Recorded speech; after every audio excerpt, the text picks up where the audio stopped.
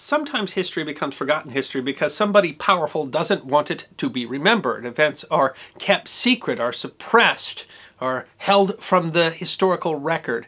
And we don't really know how many important historical events might have been lost that way, but we know that sometimes there are historical events that governments and powerful people try to keep secret, uh, but they still manage to get out. And one of those was an accident with a reactor on a Soviet nuclear submarine in 1961 that the Soviet Union very much did not want anybody in the world to know about, but the details of which eventually did come out. They came out because, frankly, it is history that deserves to be remembered.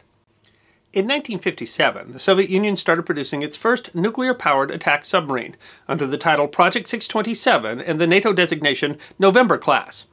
While the class demonstrated the extraordinary endurance of nuclear-powered submarines, being the first Soviet submarines to travel under the North Pole, it also demonstrated their complexity. It was a troubled class of submarine, with 131 Soviet sailors dying from various fires, reactor leaks, and accidents during the class's service, including the loss of submarine K-8, the first Soviet loss of a nuclear submarine. In 1958, the Soviets started producing a diesel-electric powered ballistic missile submarine under the title Project 629 and the NATO designation Gulf class.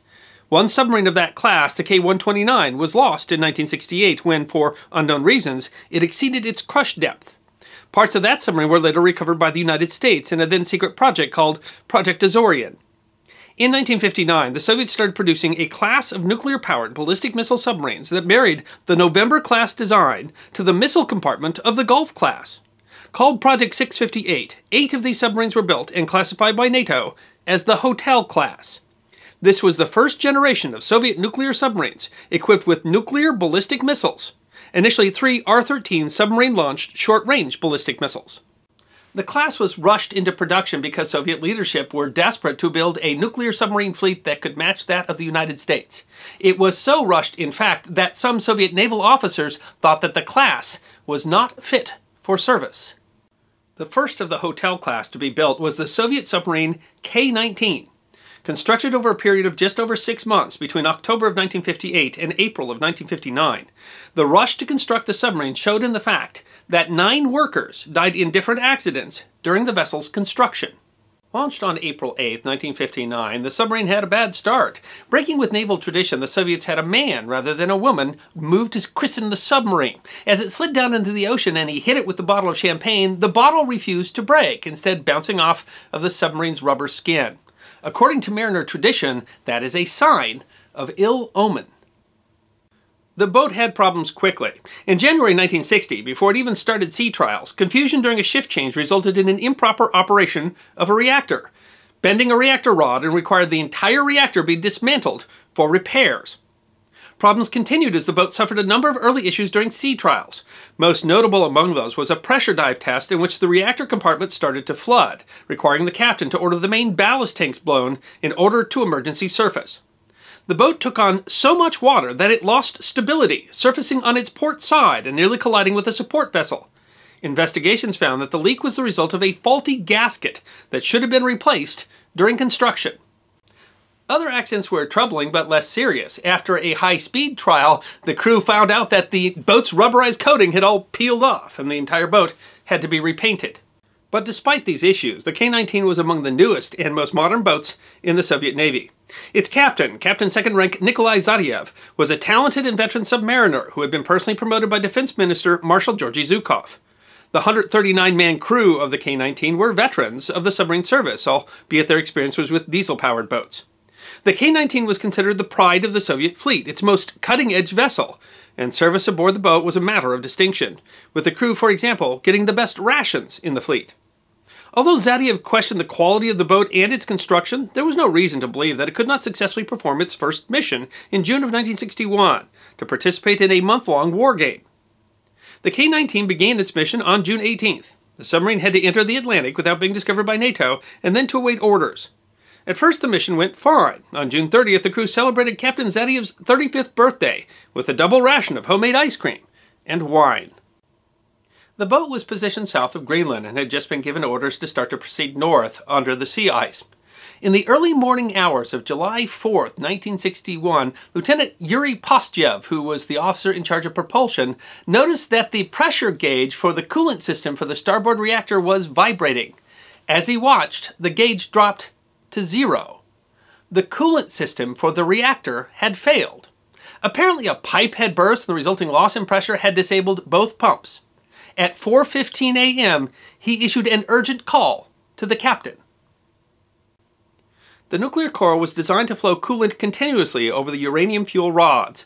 That then removes the heat generated by fission, where it is transferred to the turbine that turns the screws, giving the ship propulsion. Without coolant, the core can quickly overheat. The system automatically shut down, a process called scram, but the reactor continued to overheat, the result of what is called decay heat from fission products that remain after reactor scram. The K-19 was now without power, 300 feet below the ocean. The temperature in the reactor room soared past 140 degrees Celsius, 284 degrees Fahrenheit, as high as their gauge went, enough to ignite a fire. Inside the reactor, the temperature rose to 800 degrees Celsius, nearly 1500 degrees Fahrenheit.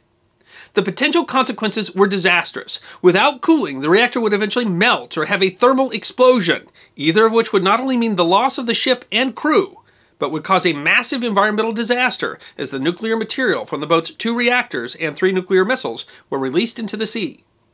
Just as pressing, at the height of the Cold War, an unexplained explosion or meltdown could have been misinterpreted as an attack by either side, resulting in nuclear war. Typically, a nuclear reactor would have a backup cooling system. Engineers and Captain Zateyev himself had argued that such a redundant system was necessary, but they had been told that the reactor was complex enough already. Around 6 a.m., Captain Zateyev ordered the crew to blow the ballast to surface the boat, planning to radio for assistance. On the surface, they found out that the long-range radio transmission antennas were not functioning. Zateyev could not contact Moscow.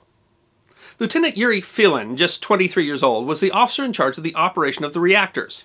He proposed a radical solution. The ship's engineers would jury-rig a coolant system using the ship's drinking water system by cutting one of the reactor's valves and connecting it to a pipe supplying water. But this solution included a terrible problem. All the work would have to be done in the reactor room, which was now contaminated with lethal amounts of radiation. Giving that order would mean ordering young men to their deaths. The order weighed heavily on the captain, who later said, At one point I considered going down to my cabin, taking out my pistol, and finishing my problems all at once. The members of the engineering crew were organized into three-man teams. Each would only work for 10 minutes at a time and attempt to limit their radiation exposure. They had no appropriate protective gear. They would use only raincoats and gas masks. One of the volunteers was Lieutenant Boris Korchilov, described as a blue-eyed ladies' man. Captain Zateyev accompanied him to the reactor room. He never faltered. None of them did, although they knew they were likely headed towards their deaths. When Korchilov stumbled out of the reactor room, he pulled off his gas mask and vomited. The repair took hours and then sprung a leak, requiring more time in the compartment. The system worked well enough to bring the reactor temperatures down, but the eight men from the engineering section had received more than three times the lethal dose of radiation. Their faces were swollen and red. They started to sweat blood. Moreover, radioactive steam had made it to the submarine's ventilation system. The entire boat was contaminated. Every crewman had been exposed to dangerous levels of radiation. The K-19 was able to use its short-range transmitter to contact another Soviet submarine, the S-270, a diesel-electric patrol submarine of the NATO designation Whiskey class, which arrived alongside them 13 hours after the cooling system failed. Due to the radiation, the crew was removed to the S-270. The eight members of the engineering crew were so exposed that even after their clothes were destroyed, they still measured radiation above background. That is to say, the sailors themselves had become radioactive. The K-19 was towed to the port of Polyarny. The boat was so contaminated that it contaminated the port for some 700 meters around where it was docked. The most seriously sick were quickly evacuated to hospitals. Lieutenant Korchilov, the blue-eyed ladies' man, was among the first to die, along with two others on July 10th. Their comrades described them as being awake and in extreme pain, almost unrecognizable. They could not talk, but they could whisper, and when they did, they begged their crewmates to end their suffering. By July 25th, all eight members of the engineering team had died from radiation exposure. Their bodies were so contaminated that they were buried in a communal, unmarked grave. Their families were not told of the burial, nor how they died. 14 other members of the K 19 crew died in the next two years of radiation exposure. The 22 members of K 19's crew who died are most certainly heroes who gave their lives to save the lives of others. Although the accident was kept secret, Soviet doctors established a protocol, a grueling protocol, that included blood transfusions and bone marrow transplants that extended the lives of the rest of the crew, even though some of them had been exposed to what was thought to be lethal doses of radiation. Investigations after posited two possible explanations for what caused the pipe to burst. In one, a welder might have neglected to use a thermal blanket when they were welding another part, and sparks from the welding might have landed on the pipes, causing micro abrasions, which eventually caused the pipe to fail. In another, there might have been a test where uh, the wrong pressure gauge was used and the pipes were exposed to twice the amount of pressure that they were supposed to be.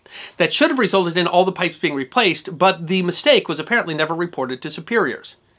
Either explanation underlies the fact that it was the rush to build the submarine that was the ultimate cause of the accident aboard K 19. The entire reactor section of the submarine was removed and dumped at sea. K 19 was returned to service in 1963. It continued to suffer from accidents and breakdowns. In 1972, 30 crew members died in a fire aboard the vessel. It was decommissioned in 1990. In 2002, a Hollywood film was made uh, depicting the reactor accident aboard the K-19, starring Harrison Ford and Liam Neeson. Members of the crew of the K-19, however, said that the depiction of the officers and their actions was inaccurate. The film gave the submarine the nickname the Widowmaker, but that nickname was actually never used by the Soviet Navy. Sailors who sailed aboard the K-19 instead gave it another nickname. They called it the Hiroshima. 26 members of the crew were given awards for gallantry for actions during the accident, according to Captain Zateyev, mostly to keep them quiet. They were instructed never to speak about the accident, which was held as a closely guarded secret by the Soviets, clear until 1991. It was only the memories of the surviving crew that kept the reactor accident aboard K 19 from becoming forgotten history.